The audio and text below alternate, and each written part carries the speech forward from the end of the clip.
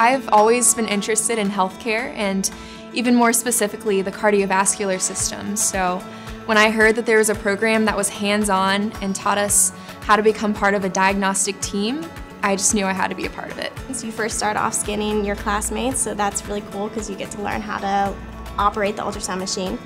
And then after that, you get to start scanning patients and start seeing actual pathology and how to handle that and how to speak to your coworkers and doctors. And the beginning was pretty difficult when we're first learning all this very technical knowledge and being tested all the time on it.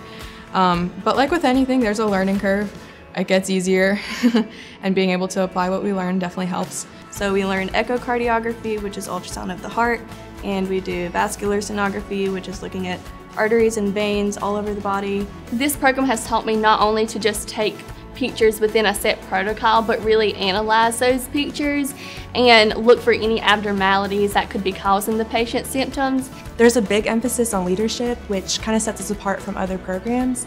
And this will help us just to kind of be show that leadership in our future jobs. The CVT program exists to train uh, and develop competent sonographers, but not only sonographers that um, have the skills and the abilities to do what every other sonographer is doing. Uh, I, I, really think that the CVT program uh, has the goal and the aim to develop leaders uh, in the field.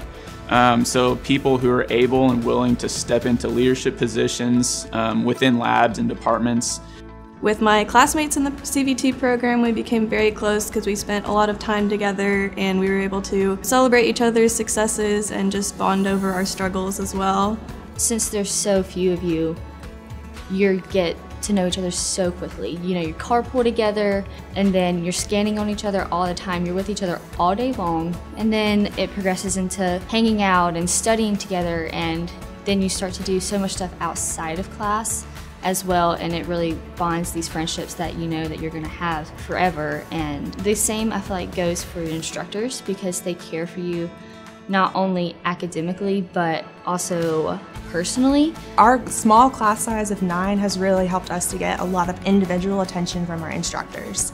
You really feel like they're family. They are basically a second mom and dad to you.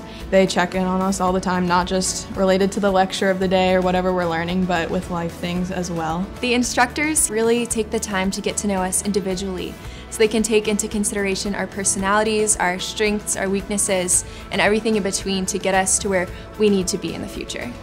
Our clinical preceptors are super, super welcoming and they are very patient and they like let us get as much experience as we really need.